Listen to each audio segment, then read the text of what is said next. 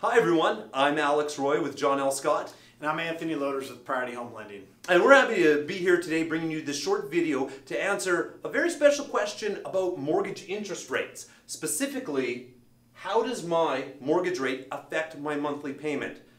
Anthony, why should we care about mortgage interest rates? You need to care because unless you're paying cash, everybody's going to have an interest rate on their loan, and ultimately it's going to come down to how it affects your bottom line.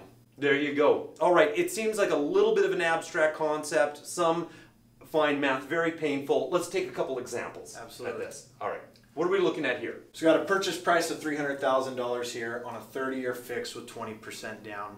Um, and we're running a hypothetical interest rate here for your principal and interest. Okay. So it's going to put you at, let's say, 4.5%. Principal and interest payment, so on that, not the taxes or insurance, is going to be 1521 fixed for the next 30 years. Same payment every month for the next 50 or for 30 years. As long as you don't move a refi. Okay, there Yeah, you go. Yeah. But if they had an interest rate a little bit higher, what happens? yeah, just a half point. We go up to 5%. Uh, it's going to change your principal and interest to 1611 a month. Wow, 90 bucks a month, over a $1,000 a year. a difference of a half percentage point when they locked in that rate for that 30-year mortgage, a difference of 90 bucks a month every month for the next 30 years. Yeah, absolutely. It's going to be $30,000 over the life of the loan.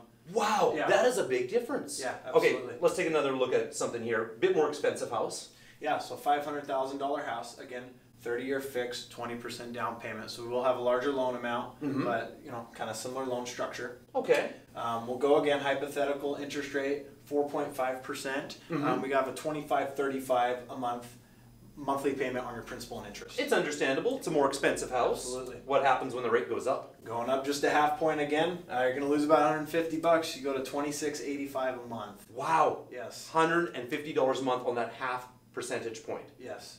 Okay, with that big of a change in what it's making to your bottom line, how fast do these interest rates move? Does it take a long time for a half point to go up? Yeah, it can depend. It, it, it depends on the market, but if you wait a quarter on the calendar year, it is possible you could see an increase of a half percent. Absolutely. In just three months' time. Sure. Wow. Absolutely. Well, it is that sort of a changing market right now. On the other side of the coin, coin that I can see in my area, home prices continue to go up in Portland, mm-hmm. and so uh, that which of course also affects your bottom line when it affects the total purchase price of that house. Yes. So now people might be thinking, well, I've been thinking about buying a house. How do I get started on this? Yeah. So we'll start. We'll sit down. We'll talk about your wants, needs, and what you want to afford. Kind of the part of town you're hoping to looking at. Maybe that's a better question for you. Yeah, we can talk about Yeah, that, yeah. but they should meet with you first. Yes, absolutely. Then we'll go to www.thelodersteam.com There for your pre-qualification. Uh, from there, we'll pull credit. We'll talk about income, assets, and then we'll get the hard numbers down.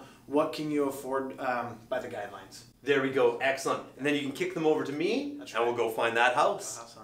I love it, Anthony. Thanks so much, man. Thank you. Appreciate it. Have a good one, guys.